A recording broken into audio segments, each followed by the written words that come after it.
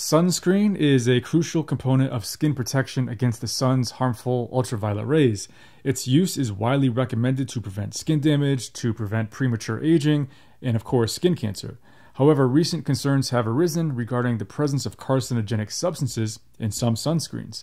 So, in this video, I'm going to talk about those concerns and the sunscreen ingredients that are in question and the importance of selecting a safe and effective sunscreen. Sunscreen products work by absorbing, reflecting, or scattering the sun's UV rays, preventing them from penetrating the skin. There's actually two types of UV rays that can cause skin damage there's UVA and there's UVB. So, UVA rays contribute to skin aging, while UVB rays are the primary cause of sunburn. Both types have been linked to skin cancer. Sunscreens, they typically contain a combination of chemical and physical filters to provide broad spectrum protection against both UVA and UVB rays. The primary concern regarding carcinogenic substances in sunscreens stems from certain chemical filters used in many products. These filters can penetrate the skin and enter the bloodstream, raising concerns about their potential impact on overall health. So, two of the most controversial chemical filters are oxybenzone and octinoxate. Oxybenzone is a widely used chemical filter in sunscreens, but it's been linked to hormone disruption, allergic reactions, and of course its potential to cause cancer.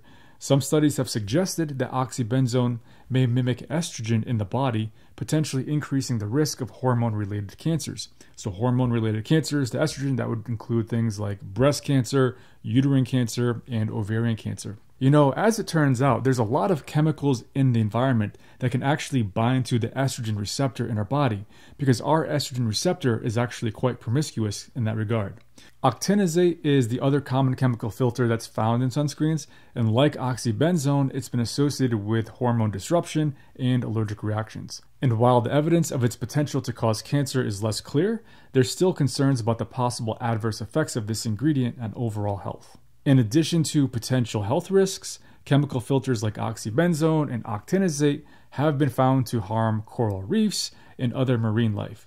Now, these chemicals they can accumulate in the water, contributing to coral bleaching and damaging the marine ecosystem.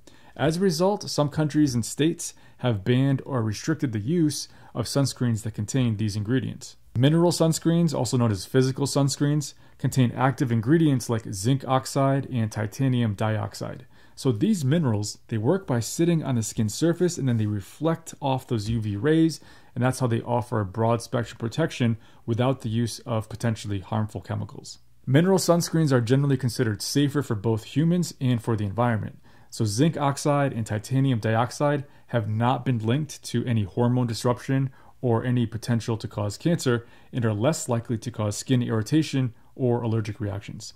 Also, mineral sunscreens don't harm coral reefs, making them an environmentally friendly option. When selecting a sunscreen, consider the following factors to ensure that you're choosing a safe and effective product. Also, choose a sunscreen with an SPF rating of 30 or higher. So, the SPF rating measures the level of protection against UVB rays, with higher values offering more protection.